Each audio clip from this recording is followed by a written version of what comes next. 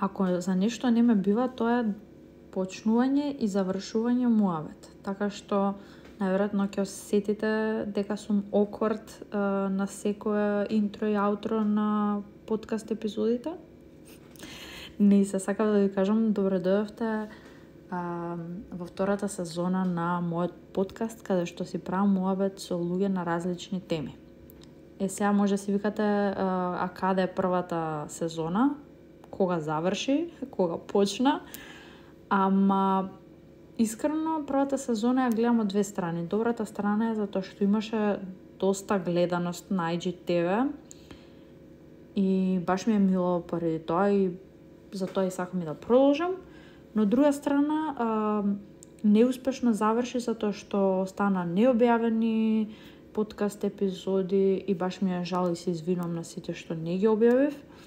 Но некако неславно заврши затоа што тогаш фатив корона, изгубив а, волја, мотивација, сила за било што.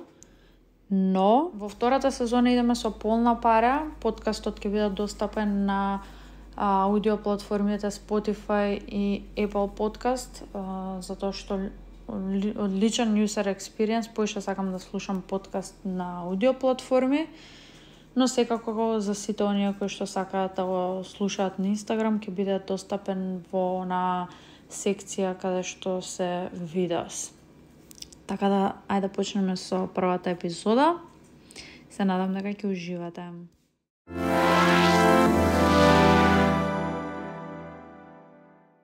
Мојот соговорник денеска, премиерно во втората сезона на мојот подкаст е Теодора, која е дел од Период, тоа е The Menstrual Movement во Скопје.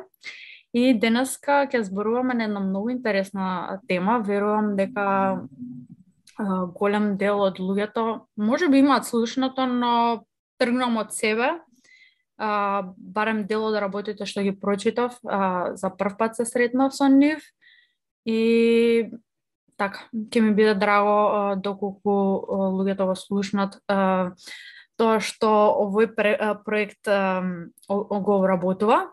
Односно, овој проект има за цел да отвори продлабочи дискусија за менструална хигиена и репродуктивно здравје и нели да се развие јавен дискурс на тема менструална правда во нашата држава ќе нагласам дека овој, оваа подкаст епизода е поддржана од Тит Инк, која заедно со Реактор го спроведе истражувањето кое се вика Крај на менструална сиромаштија, застапување за намалување на менструалната сиромаштија во Република Северна Македонија.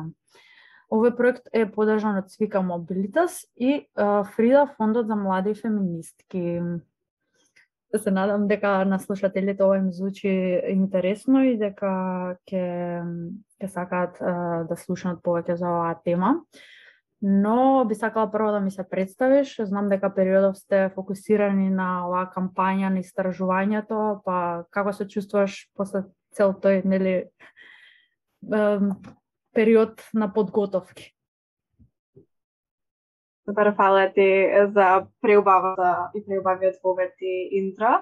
Мислам дека се чувствувам пред многу возбудена, затоа што ова е проект кој трае од минатата година и дури сега ќе почнеме да ги споделуваме сите овие информации јавно со луѓето. И како што ти кажам, не е честа тема која на која споруваме, особено во јавниот простор, па затоа мислам дека уште повеќе сум а, нетрпелива да ги видам реакциите на луѓето, а па понатаму нели како се ќе се одвија во делот на а може би креирање нови политики кои се кои кое сега администрацијата а, како биолошки и социјален процес.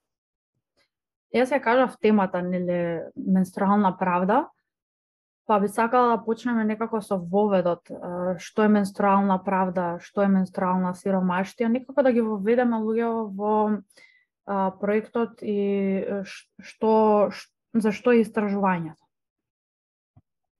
Супер, да. А, кога зборуваме за менструална сиромаштија, зборуваме за концепт кој подразбира дека имаме или немање на пред се соодветни менструални производи задржување на менструалната хигиена, а, но не стопира тука. Не можеме да зборуваме само за менструални производи, доколку не зборуваме за соодветни тоалети, дека така, се дека не зборуваме за соодветна инфраструктура, особено за одржувањето на менструалната хигиена на работното место, но исто така а, и за време на а, образованието.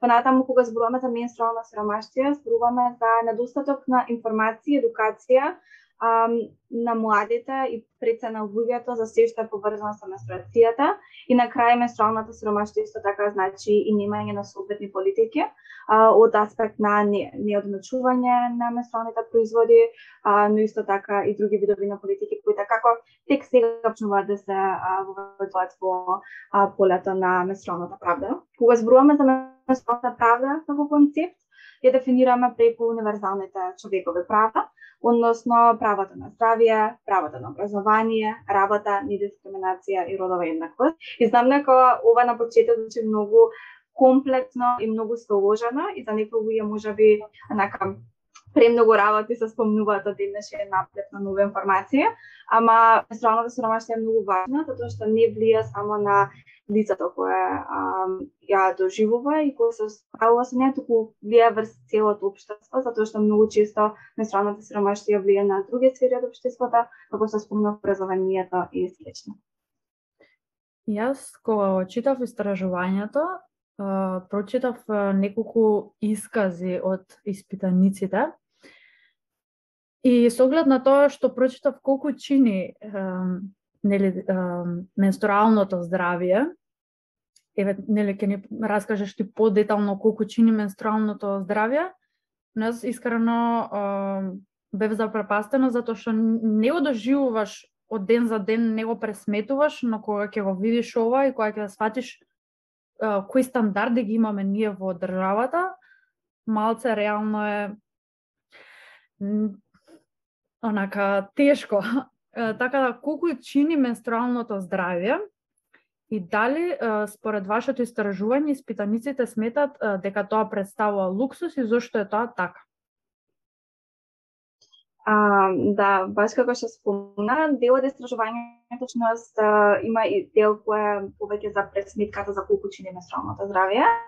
И она што го добивме од податоците од онлайн истражувањето е тоа дека 77% од ангетираните девојки и жени трошат од 101 денар до 400 денари, секако ова варира од личност на личност, но пресметките направени од нелиот просекот на сите овие одговори кои добивме, а всушност ни не даде финалната сума тоа дека а, во просек лицата кои служат месечно трошат 265 напрека 54 денари а, за производи за менструација. И ќе се речеш Океј, малце скапа, ама не копираме тука, за жал, затоа што а, според податоците од овој истражување се така голем дел од луѓето кои менструираат, односно 94,2%, одговорува дека се соочуваат и со менструална болка, а голем дел од тие кои се соочуваат со менструална болка, исто така даваат пари за лекарства да се справат со менструалната болка.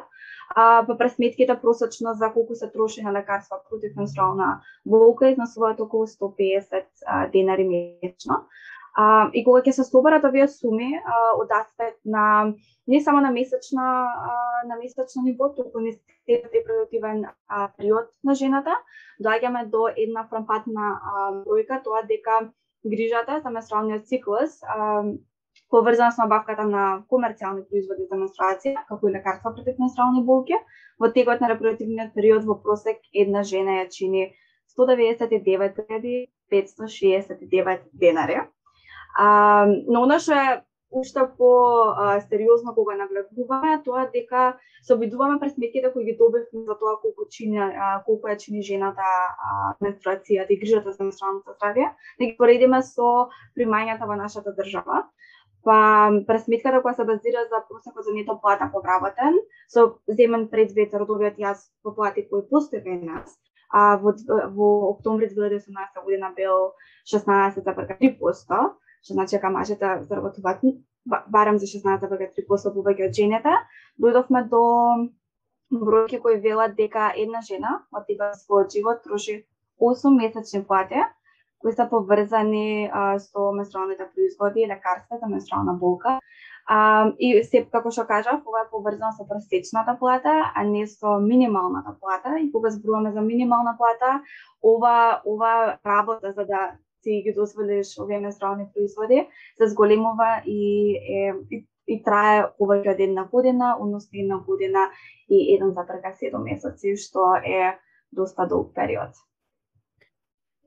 Ух. да, малце многу бројки се, ама мислам на генералниот заклучок е дека ка еве да земам јас 8 месеци од цел мој живот, се што ќе работам треба да го дадам само за да останам здрава а, и да се грижам за своето менструално здравје. Не, ние, мислам, јас размислам секогаш кога имаме проблем, нели дека треба да најдеме решение. А, што мислиш, на кој начин би можела да се подобри оваа ситуација, а, нели оваа менструална сиромаштија, а, не знам да се намалат трошоците или Што мислиш дека треба да се направи за да се подобри ситуацијата? Имаме доста работа која ни предследи во доста различни полењи, како дел од самата студија, всушност има и низа препораки. Пред себе почнала со она што е очигледното, а тоа е дека а, од данокот на додадена вредност, односно од научувањето на менструални производи во нашата држава е 18 проценти, што е доста високо. Па затоа една од првите препораки е да нели целосно ослободување или намалување на данокот а на на производите кои се поврзани со менструација, како што кошките, тампоните, менструалните чашки и, и слични производи. Понатаму е важно да зборуваме за достапни производи за менструација во основните и средните училишта. Зошто е ова важно? Ова е важно затоа што според податоците од истражувањето, голем дел од школките, најголем дел од школките отсутствуваат барем една, еден ден во месецот од училишта поради а, менструација, но исто така има и голем број кои се остваат по два дена. Па она што кога ќе се направи математиката во време трајање од 4 години а, ученичките, средношколките кај нас бидат прилика еден месец настава а, за да се справат со менструацијата, а пред се неодењето на училишта потекнува е поради да менструалната стигма која постои и која ќе се надоврзаме а, на ова, тоа е имањето на а, образование, односно вклучување во рамките на курикулумот за сеопатно сексуално образование, а, запознавање на учениците со концептите на менструална а, правда. И може би исто така што што е важно да се направи е да се поработи со стручните служби во училиштата, односно едукација на на стручните служби во воспитно образовниот кадар училиштата за тие да го препознаат влијанието на менструалната стигма, а која влија врз психо, психичкото и физичкото здравје а, и образовни резултати а, кај девојчињата. И може би повеќе треба да работиме на, не, на некој начин да се избориме против табу, табуто која представува менструацијата, преку едукативни кампањи, јавни дебати за менструална правда со цел или повеќе да зборуваме на оваа тема и да не биде нешто што не знаеме што се случува.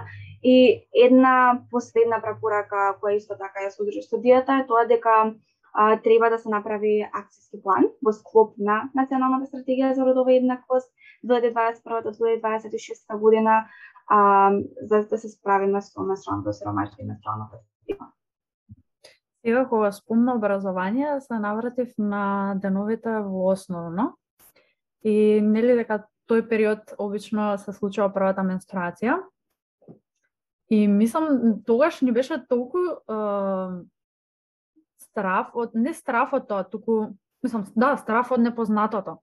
Затоа што никој не те подготвува за такво нешто. Сега, не сум сигурна дали сега се уште е така, но тогаш јас кога бев основно, а, онака првата менструација поврзувам со чувство на страф и срам, како ги кажам на мајка ми или што треба сега да правам. И исто така, а, тука се сочувствував кога читав а, истражувањето, дека не само јас, туку дека многу голем дел од девојчињата се чувствуваат така. И онака се викам, значи, колку е потребна едукација и да се зборува ова, особено кога си во таа фаза нели на раст и развој и стварно мислам дека треба девојчињата да бидат подготвени уште од основно образование. А, дали сега има не... дали сега се мислам сега се одржува некоја едукација или се уште не постои ништо такво? Во тој да, период, значи, нели, во основно образование? А, генерално, дел од истражувањето беа со стеношколки, па добивме повеќе податоци во нас дали во средни училишта, се доста такви а, предавања а малку факт фактот што повеќе ученички или 64% одговорила дека во нивното училиште не биле организирани разговори или предавања за менструација и за достапните услови или за на менструалната хигиена. А, не, една четвртина кажала дека имале предавање на оваа од лекари, лекари или од граѓански организации, само 9% што е стварно поразително. А, кажале дека имаат предавања или разговор со стручните служби во училиштата, што не дава на знаење дека менструацијата не се зборува а, за менструација не се зборува а, во училишните клупи и генерално едукацијата за менструација препоставуваме дека останува да ја дадат родителите од а, нели а, во нивните домови. Тоа ти што го спомна особено со искуството за прва менструација, мислам дека не многу често зборуваме за ова, некако мислиме дека е нешто многу позитивно а, искуство, ама за жал а, податоците кои ги добивме тоа дека а, повеќето од половина одговориле од испитачките одговориле дека кога добила првата менструација се чувствувале збуната, а секоја трета се чувствувала уплашено а, и секоја четврта застрамена, што се малку не толку пријатни емоции за една прва средба со менструацијата како а, појава што ќе биде барам уште 30 години во твојот живот и никако не остава впечаток за како ќе се движат работите. Не знам, многу е чудно што си оставен а, на некој да ти го каже тоа, односно да ти го пренесе од збор на збор, а воедно и плюс додатно се плашиш и срам ти е да го прашаш што е да го кажеш. И мислам дека а, дефинитивно што во основно училиште а, треба да има едукација за не знам некако да се чувствуваат посигурно тоа кога ќе им се случи. И уште еден момент сега со образованието а тоа е дека поминуваме на вистина многу долг период о, на училиште. Јас тргам дека и во средно поминав цел ден, и на факултет исто така, Но едно што највеќе онака како треба да, да го опишам као според жар на филм, ќе го опишам со хорор, а тоа е вецињата, односно јавната инфраструктура, тоалетите во кои треба нели ние да одиме додека сме на таа целодневна настава на училиште, се катастрофа. И онака кога го читав истражувањето имаше посебна онака јавна струк... инфраструктура и политики за менструална хигиена. Не знам, според праксите од, од други земји кои се понапред на ова поле, што треба да се превземе за да се дигне менструалната а, хигиена на повисоко ниво? И дали треба, не знам, да се воведат инспекции во во не знам, не само не, не е ова само уствари во училиштата, ова е во секој во секој јавен тоалет. Што треба да се случи да се воведат инспекции, па да се казнуваат Тотал... или Тотално се согласувам. Еве чисто како она што го добивме од истражувањето дека а, голем дел од односно над над 50, околу 78% од стражколките говорила дека не секогаш имаат сапун и тоалетна хартија во тоалетите во училиштата. И што станува после тоа? Никогаш нема. а, а и како, а и како е важно. Има има доста добри практики во светски рамки, пред се се поврзуваат со а, Шкотска. А, он, затоа што Шкотска е всушност првата земја, за сега единствена земја во светот кој законски ги обврзува сите јавни институции а, вклучително училиштата и универзитетите да овозможат бесплатно достапни производи за менструација на своите деловни простори. А, овој закон стапува на сила од 12 јануари оваа година. А, а оно што е уште поважно е што пред да биде донесен овој закон, голем дел од практиките за а, нели, а, имање менструални производи а, на училиште на факултет доаѓаат од активистки а, и со нивни самостојни акции. А, оно што треба да се да се работи пред се кога зборуваме за менструалната сиромаштија, особено од во аспект така, за јавната инфраструктура, мораме да зборуваме за тоалети кои се родово сензитивни, односно тоалети кои се исто така во стандард за одржување на менструалната хигиена, кои пред се предвидуваат во кабините каде да што имаме а, тоалетната школка, исто така да имаме и а, а, чешма за мијање на раца, затоа што не имаме и а, менструални производи за повеќе кратна употреба, кои така е многу важно да се одржува нели хигиената на ниво применување.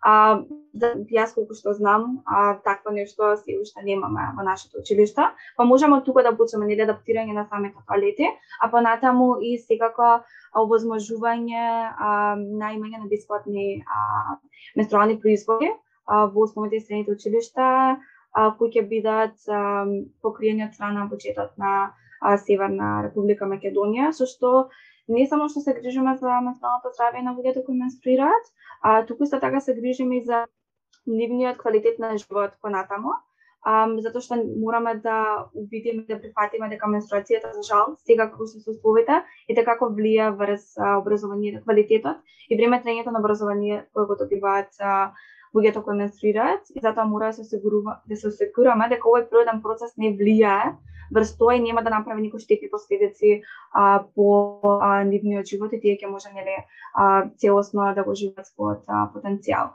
А, така да ова е тема на која треба да се зборува и се надавам дека а, со со самата нели промовирање на вас студија резултатите кои а, кои ги добивме ќе почне многу по а, по-често и посилно да се а, да се зборува и да се застапува за промени особено во основните За крај би сакала да прочитам, нели кажувам цело време испитаници, испитаници, но сакам да прочитам дел од нивните искази што ги имаат дадено во истражување. Uh, никогаш не сватив зошто за нешто што природно ни се случува со телото, значи дека ќе имаме дополнителен месечен трошок. А, прескапи се квалитетните производи, ефтините се неквалитетни, има примери од жени што имале последици. И за ова исто така мислам дека треба да има а, посебна едукација за видови на производи кои се употребуваат при менструација, затоа што јас на пример имав кампања а, која беше Имаше реакција од, од зашто промовираш нешто што може да произведе да да предизвика токсичен шок. И тоа беше добар момент за тоа што и покрај тоа што јас се освестив за тој момент, можев да го пренесам тоа и на другите и другите да го прочитаат и да го видат и да бидат свесни дека кога користиме нешто треба да знаеме како го користиме и треба да ги знаеме неговите сайт ефекти. Потоа ќе ги дочитам се останатите. Се израдов на новата информација за бесплатни производи за менструална хигиена за сите жени во Шкотска. И сакам да се избориме за истото во Македонија. И јас сакам. Јас би сакала да бидам запознаена со квалитетот на вложките, тампоните и слично. Голем дел од нив се декларирани како сензитив, во составот се 20% синтетички материјал. Влошките, тампоните и слично се направени од не, неодржливи материјали. Лично сум алергична на тампон и за малку ќе умрев од него. Еве го тоа што јас го кажав и мислам дека треба да ти се случи за да го дознаеш, место предходно да бидеш едуциран и да го спречиш тоа. Uh, толку имам ствари издвоено. Мислам дека уште имам, но тие се исказите што имам издвоено, но верувате дека имаше уште голем дел И за тоа сакам Теодора а, а, да ја оставам да ви кажа каде, а, каде може да прочитате, повеќе да се едуцирате, да дознаете за истражувањето, да ви сподели некои извори за едукација, така да повели Теодора. И мислам дека не опфативме дефинитивно се во оваа подкаст епизода, но со ова што ќе им го предложиш, се надам дека маца ќе раскопаат на интернетот и ќе се едуцираат. Um, така ќе ми биде мило да споделам, а пред да ти одговорам на прашањето дека ги читаш стварите ма пуцати um, за тоа дека um, дури 98% од испитаничките би поддржале целосно uh, ослободување од ДДВ или намалување uh, на даночната стапка од 18 барем на 5 а, посто и е важно да се доцираме за менструалната правда. Тука спаѓање или менструалното сромаштење, исто така спаѓа и тоа што го спомнам, односно квалитет на менструалните производи што е соодветно за нашето тело, за жал тоа не е никаде опфатано и многу често а, луѓето кои менструација препуштени сами на себе да истражуваат а, онлайн. За жал оваа тема се спорува се повеќе и повеќе во нашата држава, но не постојат а, толку преведени или барем толку извори на македонски јазик. А, јас ме предложила пред се да ја пуснам страната на Menstrual Hub или Menstrual Hub на македонски, а, кој вклучува најразлични избори поврзани со а, менструацијата и менструалната правда, со најразлични концепции, дали е тоа менструална стигма, а, дали е тоа застапување а, за менструални политики, слично.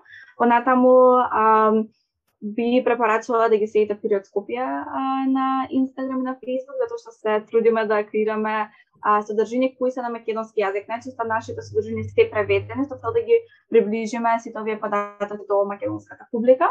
И последно, а, оваа студија, која ќе биде промовирана 12 ноември во Europe House, е најрепрезентативниот документ за ситуацијата со менструална правда во нашата држава и се надевам дека ќе искочи ќе, ќе биде еден од нај а, најдобрите извори а, за информации поврзани со оваа тема кај нас.